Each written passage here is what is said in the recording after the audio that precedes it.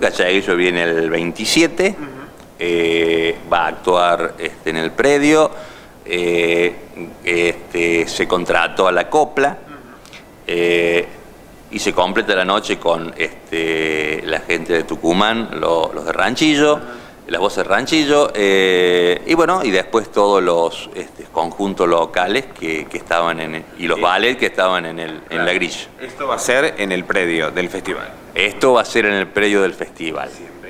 Siempre y cuando, este, nosotros nunca teníamos en cuenta la lluvia, porque bueno, veníamos de tener años muy buenos, pero, a ver, si, el, nosotros el 23, 24, el pronóstico nos dice que tenemos grandes posibilidades de inestabilidad, seguramente vamos a hacer, tenemos reserva del club para hacer exactamente lo mismo, porque debemos terminar el festival, eh, ya Galleguillo vino dos veces eh, y no pudo actuar, y sí o sí también tenemos que sortear la rifa. Entonces, eh, sí o sí tenemos que cerrar el evento esa noche, así que bueno, pero hoy la información es que se hace una noche de festival normal en el predio.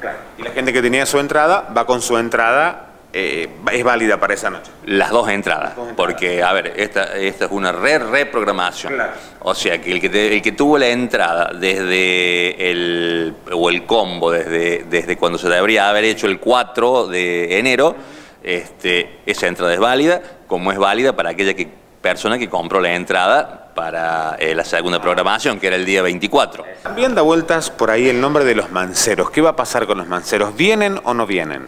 Mira, lo de los manceros estaba eh, eh, prácticamente eh, abrochado para sentarnos a charlar con, con el, el manager de ellos eh, para el mes de marzo. Te soy sincero y honesto en cuanto a esto, después que tuvimos los problemas que, que suscitaron con la gente de Romba y con la reprogramación de Galleguillo, dejamos de lado los manceros y priorizamos estos dos problemas. Cuando terminemos de solucionar todo esto, nos vamos a sentar, que es una materia pendiente y que queremos traerlo, por supuesto, a los manceros. Y también está el nombre de Abel Pintos. Eso hay que preguntarte porque todo el mundo está preguntándose. ¿Qué pasa con Abel Pintos?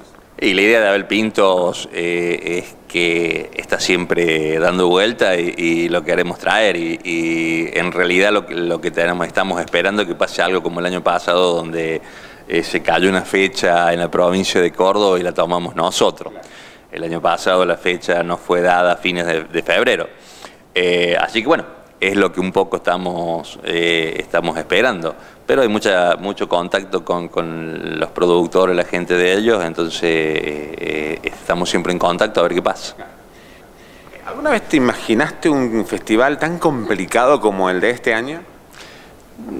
No, o sea, eh, siempre uno supone que pueden pasar estas cosas, porque más allá de que nosotros, de que esta comisión, eh, hace cuatro años que estamos, pero bueno, yo siempre fui colaborador de, de- desde hace 20 años atrás esta parte, o como cajero, o como este, eh, armador de escenario, o como en el buffet. Y he visto montones de noches este, verse, verse este, mal por el tema del climático, pero bueno, en medio que nos teníamos un poco olvidado porque veníamos de tres años brillantes sin suspender una sola noche, sin problema de, de lluvia ni de tormenta, nada, entonces bueno, es como que creo que nosotros como el pueblo, como lo vemos algo, algo, uy, que apareció ahora, pero bueno, estas son cuestiones naturales y, y no se la puede no se la puede salvar, o sea, es algo totalmente. Ojalá algún día podamos tener eh, eh, el predio preparado como para que no nos afecte el clima.